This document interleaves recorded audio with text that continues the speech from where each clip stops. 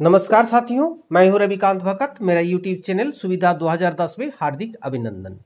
आज मैं इस वीडियो के माध्यम से बात करेंगे हाई स्कूल शिक्षकों की भर्ती के बारे में। तो वीडियो को शुरू से अंत तक ध्यान से देखें, सुने, समझें और अधिक से अधिक लोगों को शेयर कर दें। अगर आप चैनल में नए हैं तो चैनल को सब्सक्राइब कर ऑल नोटिफिकेशन बेल आइकन को दबा दें, ताकि इस तरह का महत्वपूर्ण वीडियो सबसे पहले आपको मिले और आप वीडियो से फ़ायदा उठा सके।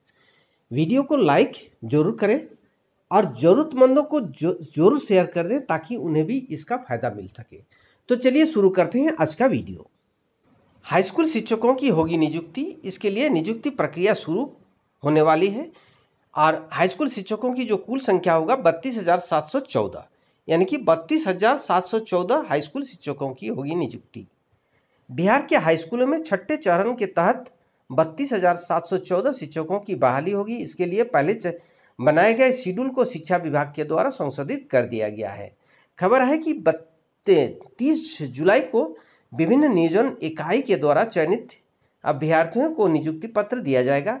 शिक्षा विभाग ने इस संबंध में अधिसूचना भी जारी कर दिया है।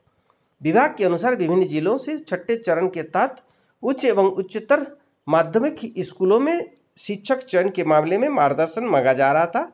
विभाग ने कहा कि हाईकोर्ट के आदेश के अनुसार 26 दिसंबर 2019 से पहले बीएड पास कर चुके हैं। वैसे अभ्यर्थियों को नियोजन प्रक्रिया में शामिल किया जाएगा। इस पर ध्यान देना आवश्यक है कि हाईकोर्ट जो आदेश दिया है, वो आदेश के अनुसार 26 सितंबर 2019 से पहले बीएड पास कर चुके अभ्यर्थियों को ही नियोजन में शामिल किया जाएगा।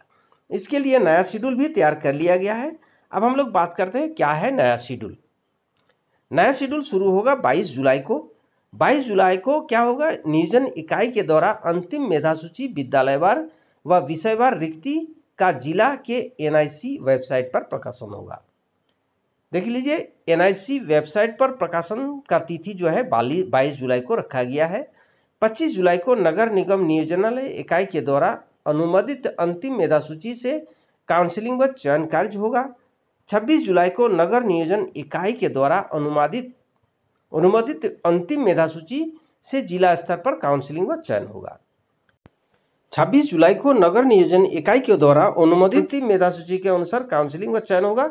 ये जिला स्तर पर होगा। जिला स्तर पर विभिन्न नगर निकाय नियोजन की इकाई के द्वारा अनुमोदित अंतिम मेधा सूची से काउंसिलिंग व चयन का प्रोग्राम रखा गया है।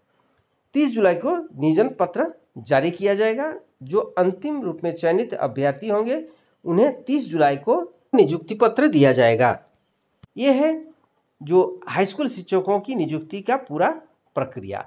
अगर आप इसमें अर्हता रखते हैं तो संबंधित नियोजन कार्यालय से संपर्क कर सकते हैं और इसका लाभ उठा सकते हैं।